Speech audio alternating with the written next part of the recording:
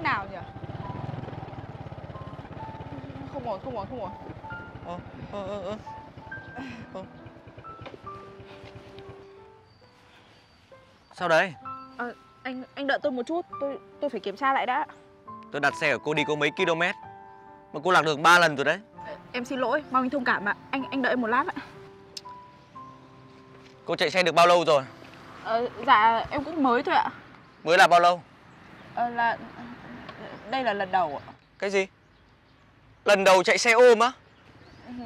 Ừ, em xin lỗi ạ. Tại em mới ở quê lên cho nên là em không thông thạo đường ở đây. Mong anh thông cảm ạ. Sao đèn thế nhở? Đây cũng là lần đầu tiên tôi đi xe ôm. Thì vướng ngay phải lần đầu tiên cô đi làm đấy. Ôi giời lần đầu tiên anh đi xe ôm á? Đúng rồi. Ui, anh từng này tuổi rồi mà đây mới là lần đầu tiên đi xe ôm. Anh đùa tôi à? Tôi đùa cô làm gì? Bình thường tôi toàn đi taxi thôi Hôm nay thấy trời đẹp Nên tôi muốn đi xe ôm ngắm cảnh. Ai mà ngờ. Dạ anh thông cảm ạ. Ai cũng có lần đầu mà mà lần đầu thì lại ờ, hay bỡ ngỡ. Thôi anh chờ em một lát em uh, tra map sau đó thì ờ, chúng mình lại đi tiếp nhá. Thôi Tôi không có thời gian chờ cô đâu. Tôi bắt xe khác cho nhanh. Ờ vâng thế cũng được ạ. Em cảm ơn anh. Của tôi hết bao nhiêu tiền? À dạ- dạ thôi em đã chở anh tới nơi đâu em không lấy tiền đâu ạ. Cô chở tôi đi lòng vòng từ sáng đến giờ Cũng hết gần nửa bình xăng rồi. Định đi làm cho vui à Mà không lấy tiền. Không ạ. Thế nhưng mà em đã chở anh tới nơi đâu? Thôi ờ, lần sau mà anh book em tiếp thì em lấy tiền ạ. Thôi cô cầm lấy đi. Ui, Từ sáng đến giờ cô cũng nhiệt tình rồi. Anh làm thế này em ngại quá. À, thế thôi anh cho em xin 30 nghìn thôi ạ. Thôi cứ cầm hết lấy. Ờ, Cầm lấy. Vâng thế em cảm ơn ạ. Tôi đi trước đây. Vâng. Ơ anh ơi, ơ, cho em xin cái mũ ạ. à, Tôi quên mất Vâng, Tôi gửi cô em cảm ơn ạ. Thế nhá Em chào anh. Ôi rồi ôi nhiên ơi là nhiên Sao phải mù đường thế này Ngại chết đi được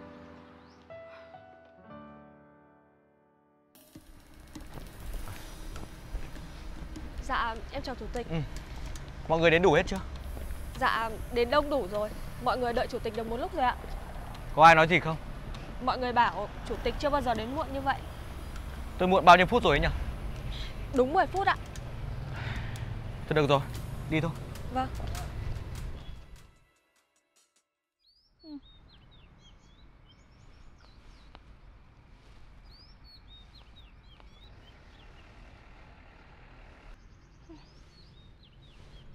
Sao đường nó cứ nhì nhằng ấy nhở Chẳng giống ở quê gì cả. Làm nào bây giờ?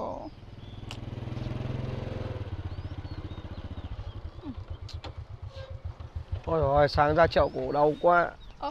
Anh à? Em à? Sao ra sớm đấy Sáng giờ nhiều khách chưa? Em ờ, được có một cuốc thôi. Ồ. Ít thế thôi á? Vâng Em ra từ sáng sớm Nhưng mà em không biết đường nên là em không dám nhận khách ạ. Em đang tra bản đồ đây. Ôi dào ôi Ngồi đây tra bản đồ thì bao giờ mới nhớ được đường? Ồ thế à Thế bây giờ em phải làm sao anh? Thì bây giờ em cứ chạy đi. Phải chạy sai mới nhớ được đường. Ngày trước anh cũng thế mà. Thôi Làm như thế em thấy ảnh hưởng đến khách lắm. Hoặc là bây giờ em cứ tự chạy một mình Cho nó quen đường đã. Sau mà nhớ đường thì nhận khách sau. Ờ Vâng ạ. Mà em chạy được bao lâu rồi? Dạ Em cũng mới chạy được mấy hôm thôi. À Thế thì phải bình tĩnh Người mới làm sao mà biết luôn được? Vâng Em cũng mong là chạy mấy hôm nữa em sẽ thạo được hơn ạ. Anh bảo này. Dạ. Lưu số anh lại. Khi nào mà chạy khách ấy mà không biết đường ấy Gọi cho anh anh chỉ cho. Thật ạ? Cảm ơn anh ạ. Ừ. Thế tốt quá để em lưu. Đây em gửi anh. Em cảm ơn. Có gì đâu Anh em mình là đồng nghiệp Phải giúp đỡ lẫn nhau chứ. Vâng ạ.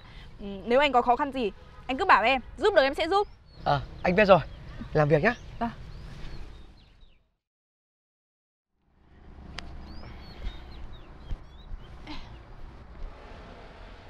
Ơ anh Anh ơi Anh còn nhớ em không ạ Là cô à?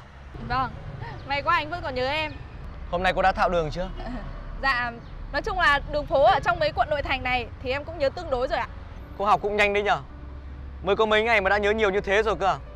Vâng Em phải cố gắng lắm đấy. Không thì không làm việc được ạ. Làm xe ôm mà cô không biết đường. Lại còn không biết xem bản đồ ấy Thì không có khách đâu. Vâng, thế nên là em mới chăm chỉ học đấy ạ. À, thế bây giờ anh có đi đâu không? Em chở anh luôn ạ. Cảm ơn cô Nhưng tài xế của tôi đang đến đón tôi rồi. Ui, anh có cả tài xế riêng cơ à? ừ. Anh giàu thật đấy. Tôi cũng bình thường thôi. Mà thôi tôi đi trước đây. À vâng, chào anh ạ. Khiếp, người ta giàu thế. Còn mình thì...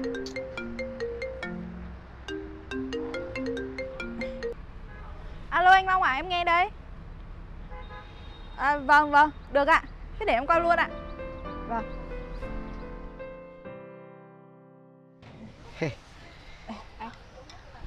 Hôm nay em được nhiều quốc không? Em được hơn Trung Quốc rồi ạ Ây da, khá đấy nhở? Vâng, tại hôm nay em cũng đi sớm anh ạ Ờ, em là con gái mà còn chăm hơn cả anh ạ. Cũng vì miếng cơm manh áo thôi anh ạ Ờ. Nhưng mà tại sao em lại chọn công việc này? Anh thấy có ít phụ nữ chọn làm nghề xe ôm lắm. Vâng, em cũng thấy ít Nhưng mà do hoàn cảnh thôi ạ Có chuyện gì vậy? Có thể kể anh nghe được không?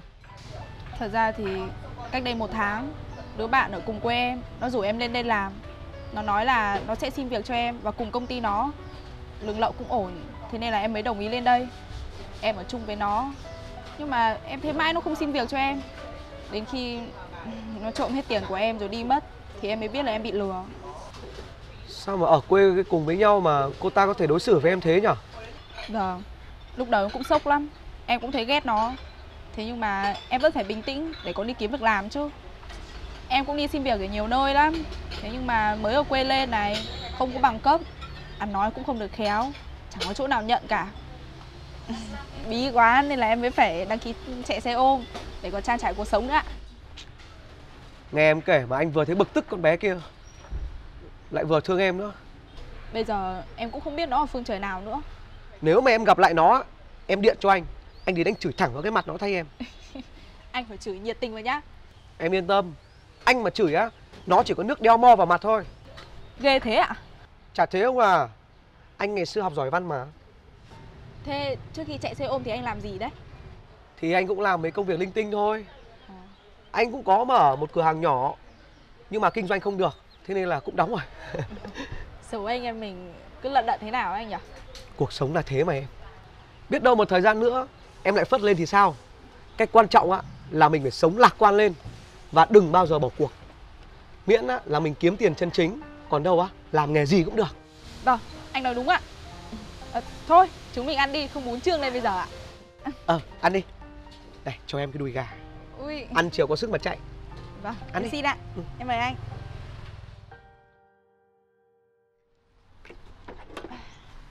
Cô ơi, Dạ. chở tôi ra cái đằng vọng Quỳnh. Mày định chạy đi đâu? Trả tiền lại cho tao. Bỏ ra tiền nào? Làm sao tao phải trả cho mày? Mày lại còn tỏ ra vô tội à? Mày lừa tao lên đây. Mày không giúp tao xin việc thì thôi. Đã thế lại còn lừa hết tiền của tao. Mày có biết là tao phải sống khổ sở như thế nào không? Trả tiền tao đây. Buông ra. Đấy là do mày ngu. Mày nghe lời tao bây giờ con kêu cái gì? Được. Chuyện tao theo mày lên đây Là do tao sai. Tao đã quá tin tưởng một đứa bạn như mày Thế còn việc mày trộm tiền của tao thì sao? Mày để cho tao đóng tiền nhà, tiền điện, tiền nước của mày. Mày tính thế nào đây? Mày bớt bớt cái mồm đi. Có mấy đồng bạc lẻ thôi Làm gì mà cứ phải gào lên thế? Cái gì? Mấy triệu mà mày nói là bạc lẻ á? Đối với mày là ít Nhưng đối với tao là chi phí sinh hoạt cả tháng của tao đấy. Nếu mày thấy là mấy đồng bạc lẻ thì mày trả cho tao đi. Tiền đấy là tiền công tao đưa mày lên đây. Trao cơ hội cho mày làm việc ở thành phố này Giá như thế là quá rẻ rồi mày kêu cái gì Quỳnh ơi. Tao không nghĩ mày là con người độc ác như thế đâu. Mày Mày ăn tiền trên xương máu của bạn bè Mày không thể áy náy à? Sao tao phải ấy nấy Ở cái thành phố này Đứa nào khôn thì đứa đấy sống Đứa nào ngu thì đứa đấy chết thế thôi. Coi như là bài học đầu tiên tao trao cho mày đấy. Mày mà còn ngu ngơ như thế Không khôn ra đường thì còn bị lừa dài dài con ạ. Mày nói thế mà cũng nghe được à? Sao không nghe được? Này Tóm lại là tao không trả tiền đâu. Thân tao đây làm gì làm đi. Quỳnh ơi sao mày cùn thế? Tao thế đấy Xong chưa? Hết chuyện thì tao đi nhá. Ơ tự...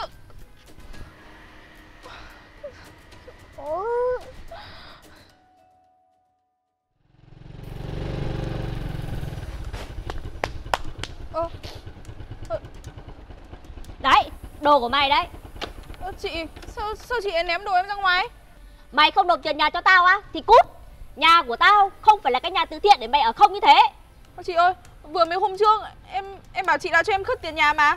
Em chạy xe một hai hôm thôi là em có tiền gửi chị rồi ạ. Thôi thôi thôi, thôi. Tao không có kiên nhẫn với mày nữa đâu. Ở ngoài kia kìa. Bao nhiêu người muốn thuê phòng trọ nhà tao? Sao tao phải chứa chấp cái đứa như mày? Chị ơi, em xin chị đây chị nghĩ lại đi. Chứ bây giờ chị đuổi em đi thì em biết ở đâu ạ. Mày ở đâu thì kệ xác mày. Liên quan gì đến tao? Chị ơi, Có chuyện gì vậy ạ? là anh ạ.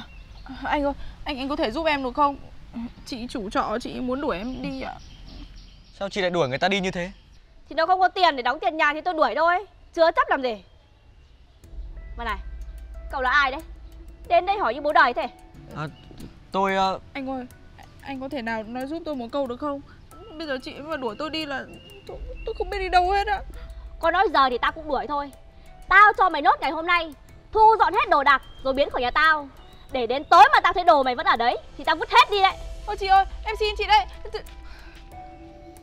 Anh ơi, anh anh nói giúp em một câu được không ạ? cô cứ bình tĩnh đi. Người ta đã nói như thế rồi. Bây giờ cô có nói thêm ấy Cũng không giải quyết được gì đâu. Bây giờ thực sự em không biết là em ở đâu nữa ấy. Thôi được rồi Để tôi sắp xếp cho cô. Dạ, anh giúp em ấy ạ? ừ.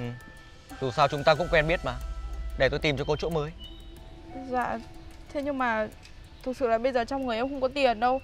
Liệu người ta có cho em đến cuối tháng đóng tiền không ạ? Cô yên tâm. Tôi cho cô vay Dạ, em cảm ơn anh. Ờ, Lúc nào có, nhất định em sẽ gửi anh luôn ạ.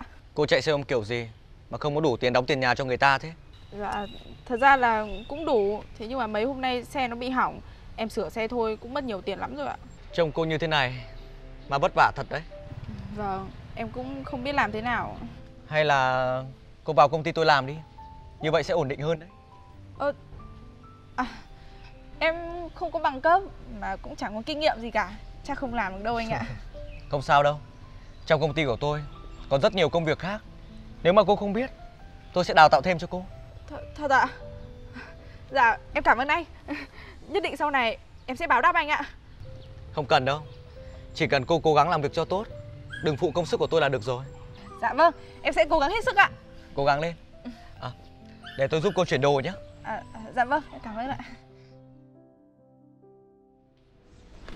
Chị ạ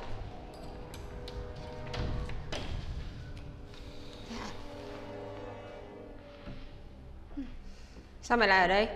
Trùng hợp nhỉ Tao với mẹ lại gặp nhau rồi Mày cũng đến đây để xin việc chứ gì?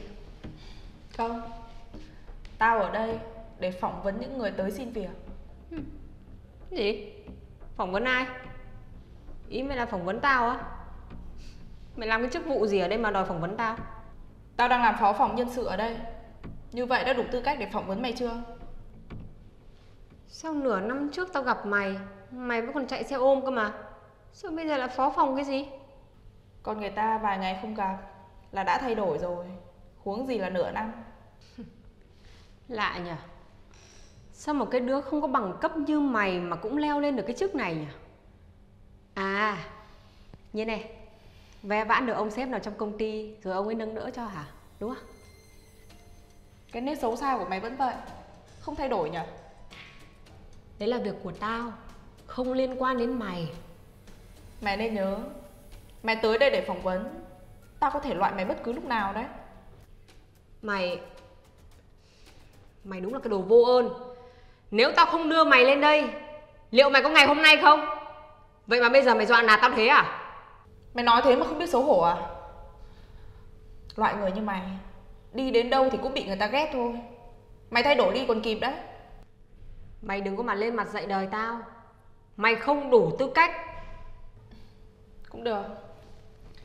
Tao có ý tốt muốn bảo mày. Mày không nghe thì thôi. Bây giờ mày về được rồi đấy. Này Mày định giở trò đúng không? Mày còn chưa phỏng vấn tao đâu Đừng có nói chuyện kiểu đấy. Từ nãy đến giờ tao với mày nói chuyện Chính là tao đang phỏng vấn mày đấy. Nhân cách của mày Không xứng đáng làm việc ở đây. Này Mày định trả thù tao đúng không? Nếu mà muốn trả thù thì nói thẳng ra Không phải dở cái giọng đấy. Đúng là tao vẫn còn giận mày. Thế nhưng nếu hôm nay Mày xin lỗi tao một câu Thì tao cũng bỏ qua Và nhận mày vào làm rồi. Chỉ tiếc là mày vẫn chứng nào tật đấy. Ờ thì um, Thì cho tao xin lỗi. Coi như mấy chuyện đã qua là chưa hiểu tính nhau thôi. Mày bỏ qua cho tao nhé Thực sự là tao cũng rất là cần công việc này.